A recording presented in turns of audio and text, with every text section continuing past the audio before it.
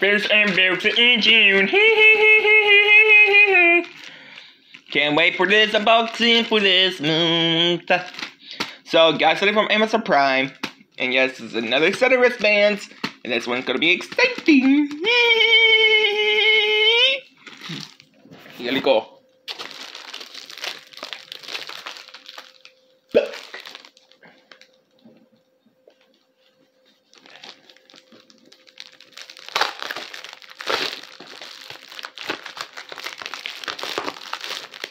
Oh,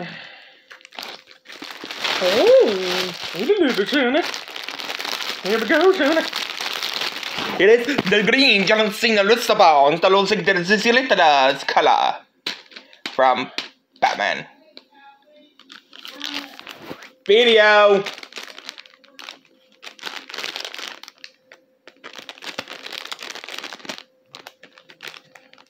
How do I? No. Oh, oh, oh, oh, oh. Okay, I got the seat underband out and the fucking wristbands out, bitch. So we got this one that you can't see me, and the and the okay sign has similarity with act, and the never give up armband or strap band, what you fucking call these days. So here we go.